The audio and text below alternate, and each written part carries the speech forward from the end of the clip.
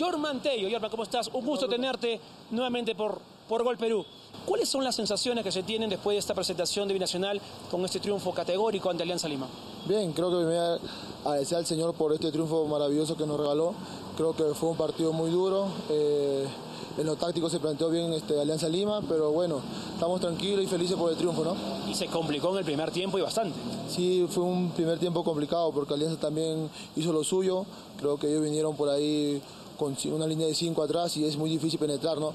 Pero como te repito, estamos contentos, estamos felices por el triunfo y así que ahora planificar durante la semana para ir a Lima con tranquilidad. Alianza se planteó muy bien atrás, defendió como debía ser esos primeros minutos del primer tiempo, con equilibrio en la mitad de la cancha y meten la que tuvieron. Sí, como te repito, Alianza creo que siempre así su juego, ¿no? Se, se paran bien atrás, eh, juegan contragolpes, nosotros ya lo sabíamos que iba a ser durísimo así ellos, ellos planifican así el partido este, el profesor Pablo Bengochea. Eh, por ahí le salió bien, pero creo que la expulsión también por ahí nos ayudó a que nosotros encontráramos mejor juego, ¿no? Tuvieron una gran respuesta en la segunda mitad, sobre todo con el ingreso de Millán. Sí, creo que fue un segundo tiempo maravilloso para todos. Eh, el ingreso de Donald creo que fue fundamental, pieza clave en el equipo, así que nos ayudó para que el equipo por ahí pueda engranejar, ¿no?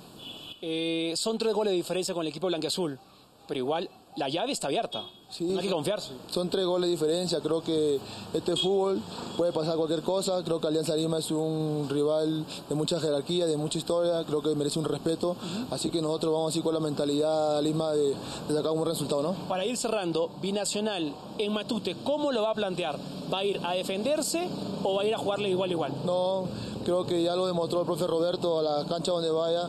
Binacional sale a proponer, sale a atacar, creo que esto no va a ser la excepción y bueno, ya lo decidirá, ¿no?